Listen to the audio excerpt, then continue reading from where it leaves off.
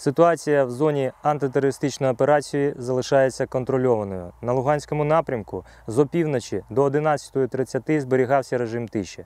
Але близько опівдня російські окупаційні війська обстріляли Новоолександрівку стрілецькою зброєю, провокуючи такими діями українських військовослужбовців на вогонь у відповідь.